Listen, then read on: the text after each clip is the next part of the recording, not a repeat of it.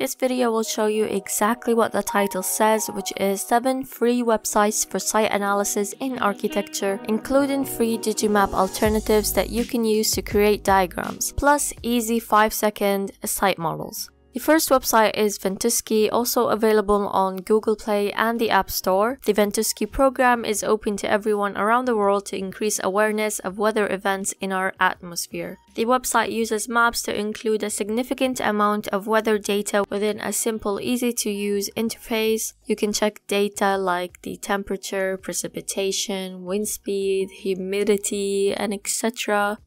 You can also access historical data as you can go back in time to see how the weather has changed or how the weather will change in the hours or days to come. But the best part is the animation of the winds over the map, which clearly illustrates the direction of the wind in a clear way, which should be used in designing buildings correctly. You can change or turn off the wind animation if it bothers you, but I really don't see how it bothers anyone because it's really unique. You can also export these maps to place on your presentation boards, but if you are a website designer or you have a blog, you can also share a live screenshot of the map on your site.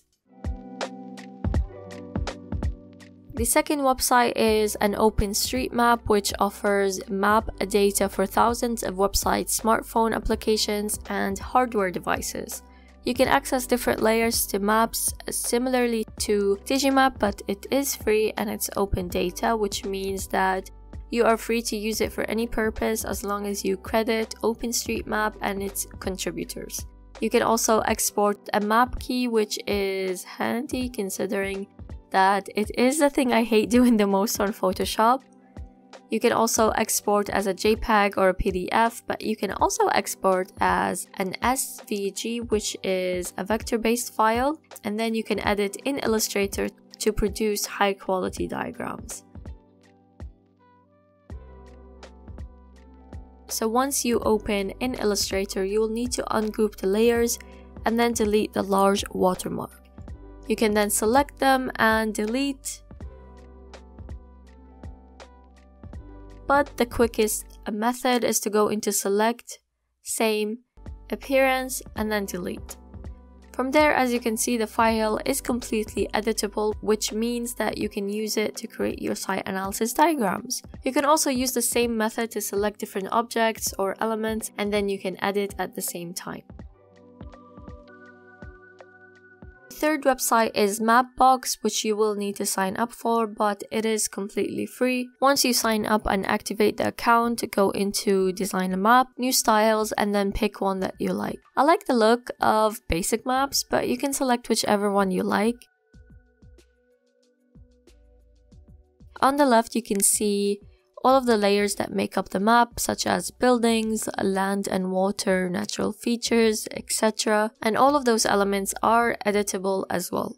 You can turn the buildings into 3D and if you zoom in, you can see 3D structures with heights.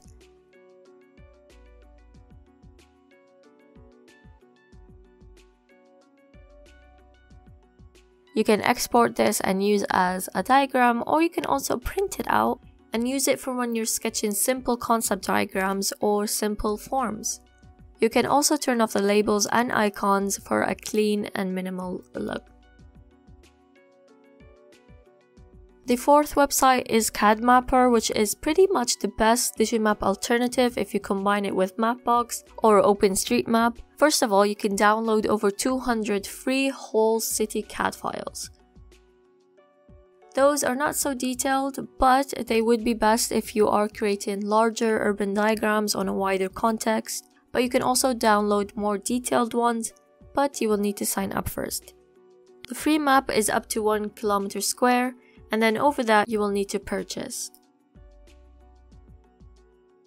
It will show you a nice axonometric of the site or a 2D view which you can then screenshot, and then you can download the SketchUp file and enjoy.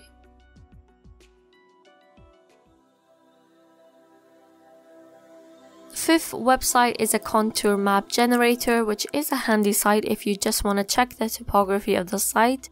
I think it's useful and looks accurate, but unfortunately I have not found a way to export the map other than taking a screenshot.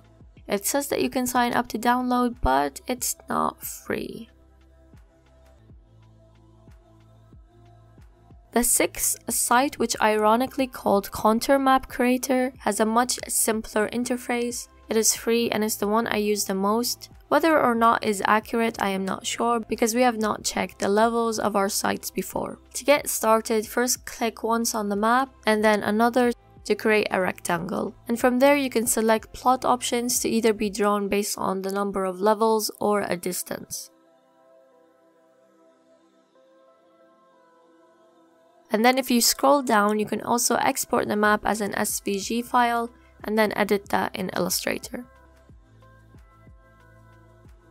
The seventh site is called the thepudding.cool, which has no objections from me. They create visual stories and map which is so so interesting. You can check out their website for more maps.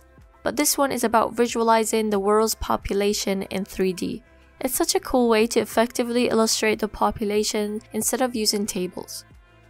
You can also see the change in population and compare that to 1990. I feel that this site is also fantastic for creating diagrams in your urban design essays or dissertation. The final and bonus site for this video is the Urban Observatory. This site allows you to compare different cities in the world in different themes I'm going to pick three different cities all in the UK and then compare them based on movement, people, public spaces, and systems. This is easily hours of site analysis research done in a matter of seconds. Some themes, though, are not available to all cities. Not all of the cities in the world are available, but I feel that most capitals should be there.